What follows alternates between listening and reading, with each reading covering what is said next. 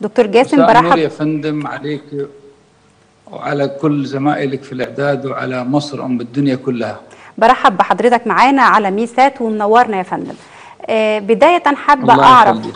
هي الدولة الخليجية الأولى والعربية آه، بعد كامب ديفيد من 40 عام التي تعلن السلام مع إسرائيل. آه، اختيار التوقيت أستاذ جاسم دكتور جاسم. أولا يجب أن نعترف بأن العالم العربي يمر بمرحلة صعبة وقاسية جدا. تدنت الأوضاع إلى مرحلة الصفر.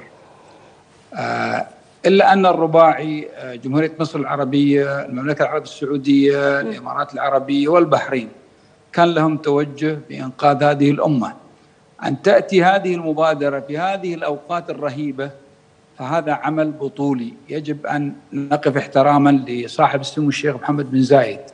لا يجب أن نخضع لهذه الممارسات التي دائما تأخذنا إلى الرفض ثم نخسر الك- الكثير.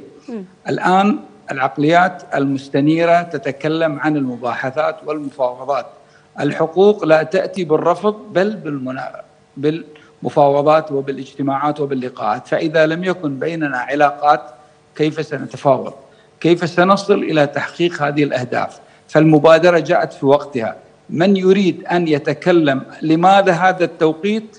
سيضعون هناك عدة علامات واستفهامات ولكن توقيتها هي لم تأتي بين يوم وليلة. هناك مباحثات أخذت وقتها. ثم لابد أن تخرج للس- للسطح حتى يستطيع ال- ال- ال- القائمون عليها من تحقيق الثمرات من خلال تطبيقها على أرض الواقع. تفضلي. دكتور أحمد فؤاد برحب بحضرتك يا فندم معانا. وخليني أسأل أهلا حضرتك أستاذ ألف- ألفت واهلا بالدكتور جاسم والسادة المشاهدين. آه، برحب بحضرتك. وخليني أسألك عن سبب تسمية الصفقة باسم إبراهيم ودلالات هذا يا فندم. يعني بعد تحية مجددا نورتنا على شاشة هذه خطوة جريئة. أشكر حضرتك أشكر حضرتك.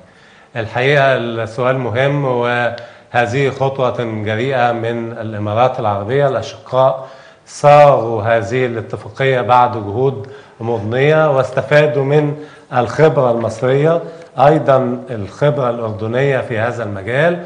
ففي هذا السياق أرى أن هذه الخطوة خطوة جيدة داعمة للحق الفلسطيني تطرح من جديد الملف الفلسطيني أمام الرأي العام العالمي الذي كاد أن ينسى هذا الملف.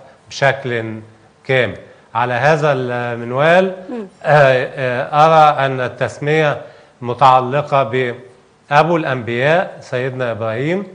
الأمر يشير إلى التسامح إلى أن هناك أرضية مشتركة إلى أننا من الممكن أن يكون بيننا حوار أديان أن يكون بيننا آه، قيم مشتركة سماوية.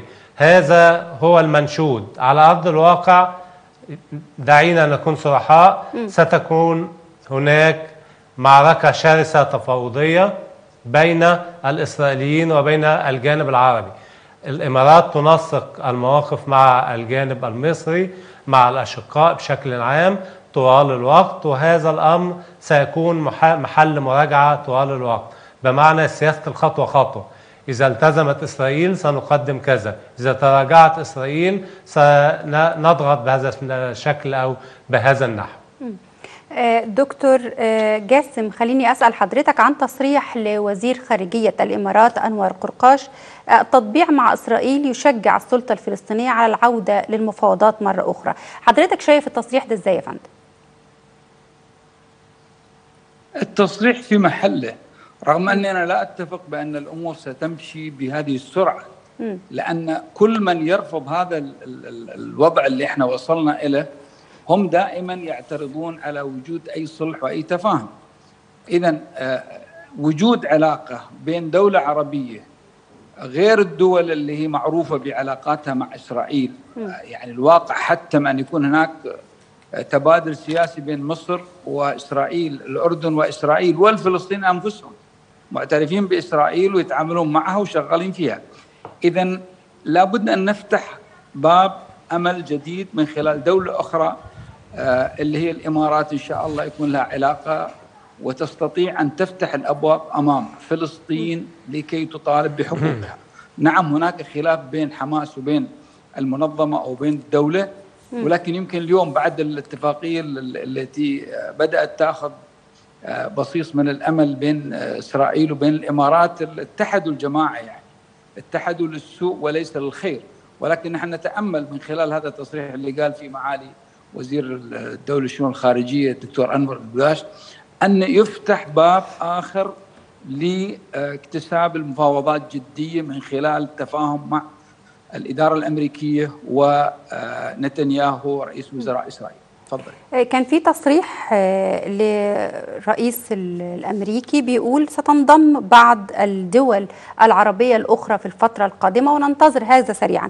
وأيضا كوشنر أكد أنها ستنجح في دخول السعودية على خط التطبيع. حضرتك شايف التصريح ده إزاي دكتور جاسم؟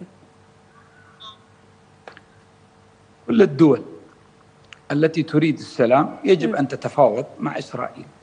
يعني نحن أنا لا أستطيع أن أصرح بأسماء دول لأني ما ما أعرف يعني من هي الدول ولكن أستطيع أن أستنتج أن كل دول المنطقة العربية يجب أن تغير من أفكارها البالية التي تتكلم عن مقدرتها على القضاء على إسرائيل، لا نحن واقعيين لا نستطيع القضاء على إسرائيل بهذا الكلام. لكن. نستطيع أن نحاور وأن تنضم الدول وتأتي الدول العربية كلها لتعمل صلح، بس الصلح مقابل حقوق ناخذها للشعب الفلسطيني. وليس نحصل عليها، إحنا مش محتاجين شيء كدولة الإمارات الحمد لله، علاقاتنا ممتازة مع الكل. إذا لكن الهدف الرئيسي هو القضية الفلسطينية من الأساس. يعني إذا خطانا خطوة معنى هذا إحنا نسعى لحل خلافات موجودة. لكن لا نتأمل الكثير في الوقت الراهن. نأمل من الدول الأخرى سواء خليجية أو عربية أن تنضم لاتفاقيات السلام مع إسرائيل شريطه المبادرة العربية القديمة اللي أذكر تكلم فيها المغفور للملك عبد الله بن عبد العزيز. هذه السلام مقابل الأرض السلام مقابل حل القضية الفلسطينية السلام مقابل الاعتراف بدولة فلسطينية. هذا الذي نأمل أن يأتي في الأيام القادمة إن شاء الله. دكتور